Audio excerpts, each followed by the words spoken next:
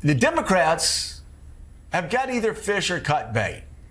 Like, if they can't drive Joe Biden from the race, they need to line up behind Joe Biden because there's no middle ground here. You're either united, you know, a house divided against itself can't stand. You're either united or your side loses. They've got to make decisions fast. And all these stories about Nancy uh, furiously going around trying to undermine Joe Biden, it's not working. I mean, I don't even know if that's true. We keep hearing about Barack Obama and all of Barack Obama's people quietly working behind the scenes to undermine Joe Biden. If they are, that's not helpful. It's not helpful, first of all. And secondly, it's not working with the rank and file base.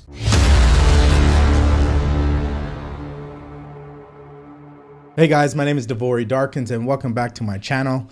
And in today's video, we're going to be actually covering this new story, which every single day there's a story just like this where another Democrat is coming out and telling President Biden to drop out.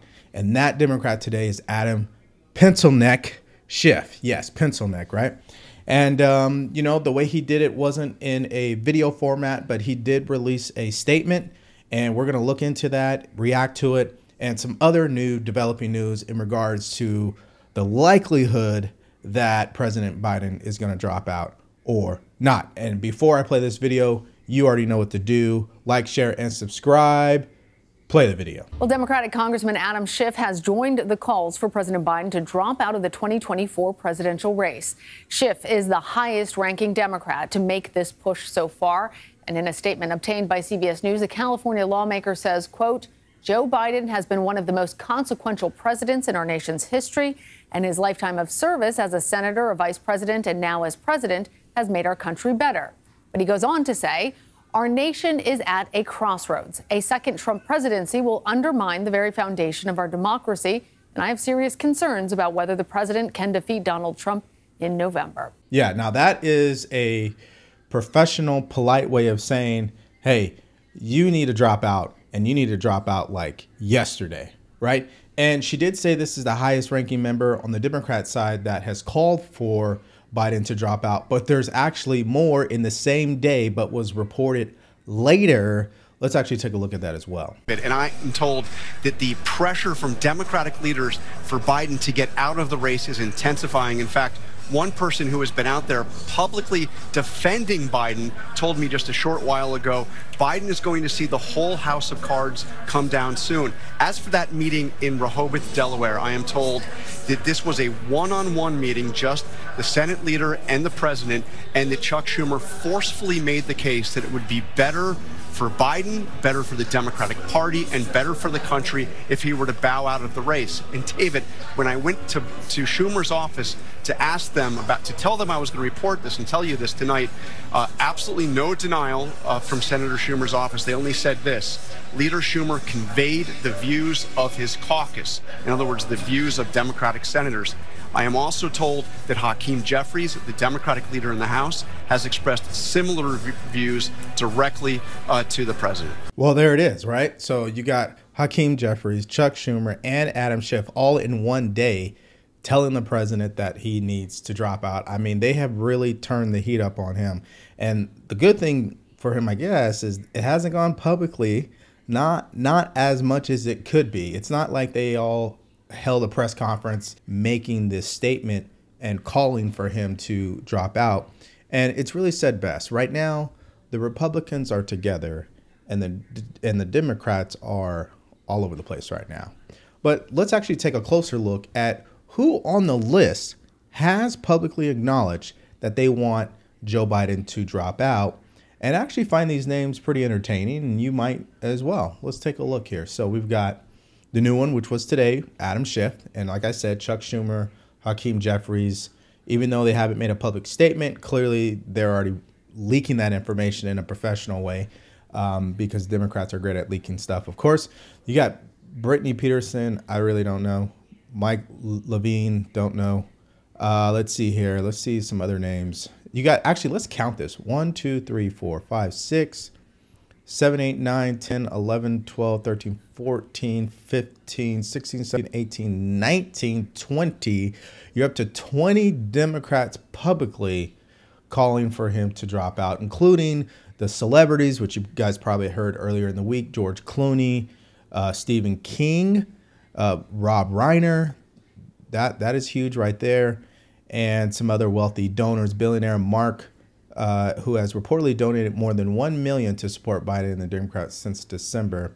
I mean, that's a lot of money, but that that's not like Elon Musk money, right? So, um, and then you have um, Joe Scarborough, which is probably one of Biden's biggest defenders, uh, which was the clip I played in the beginning of this video, where it's just really an, an a ultimatum: either cut him right now, get him out of there, or we need to support him as one. And one of the bigger surprises, which happened earlier in this whole um, like drama series here, is David Axelrod was one of the first people, even last year, to say that they shouldn't be running with uh, Biden as the um, new president for 2024. And a lot of people thought that was crazy.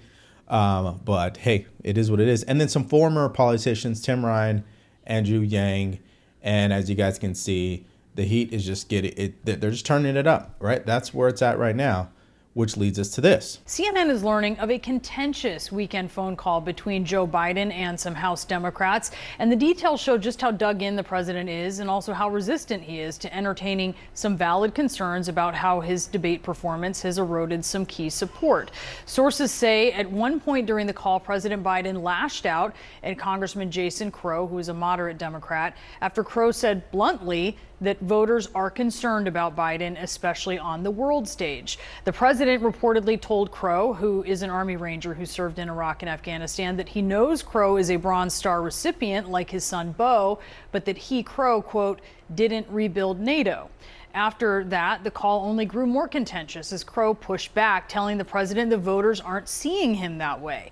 And that's when Biden told Crow, quote, I don't want to hear that crap and said the congressman could walk away if he wanted, to which Crow said he didn't want to walk away, but Biden, angry, replied that Crow should just walk away. Our sources say that Biden also had a tense exchange with Congresswoman Chrissy Houlihan of Pennsylvania. Houlihan reportedly telling the president that she was concerned about his standing in a key county in her battleground state. But Biden pushed back and suggested he didn't believe her. Houlihan then told Biden that she had polling to back it up. And according to our sources, Biden responded by telling Houlihan he'd send her talking points of everything that he'd done for Pennsylvania and reminded her that he had married a Philly girl. Right. So, what do we see? We, we, we keep hearing and seeing the same theme over and over and over again. It's as if the president is in denial, right?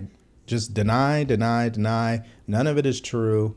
And it's a it's a full on gaslighting session, not only on the American people, but on his voters, the donors, and the Democrats, right? The writing is on the wall, the numbers are telling the story, his physical appearance is telling the story that he's not going to be able to stick around for another four years. Think about this.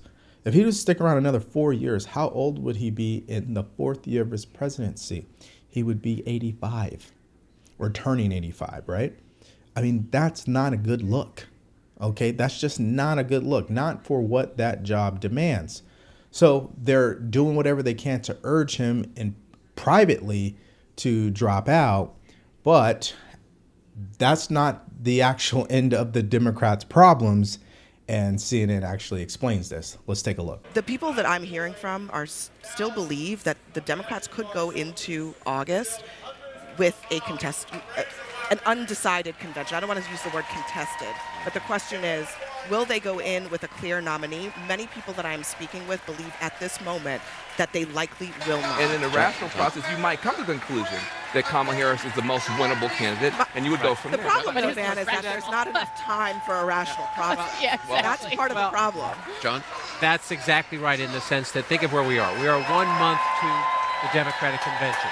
This Republican convention is a show of unity, and they are improving their position. And as of today, they would win and win convincingly. Mm. They would take the Senate, and they probably would keep the House. That's what Democrats are looking at right now. So you have a month to the Democratic convention, which is why Democrats are telling the president, make this decision and make it now. Yeah, but there's one problem. If Kamala Harris does step up, she's not polling any better than Joe Biden because she's in the ticket. She was part of this administration and she doesn't have the best track record. And when she went out there and was running for president back in 2020, she got crushed. Right? And so they have really put themselves in a position where it's a lose lose. It's just it just depends on how how they want to go about it. Meaning, if they go with Biden, do they believe they can get more votes with him than Kamala Harris, or do they believe they can make the chaotic, risky move and go with an entirely different ticket and get more votes out of that? One thing's for sure, this hasn't really happened, I don't think, ever in history and it's going to be interesting and exciting moving forward on their side of things. But um, listen, my mindset is very clear. This is Mindset 101. The writing was on the wall for the last four years and they ignored it. They put too much energy into demonizing Donald Trump. They put all their resources, their focus, their message, their policies all about him. And they forgot the one thing that is important to get elected for the next four years. And because that's been on the back burner, they were not able to address these issues in a timely manner.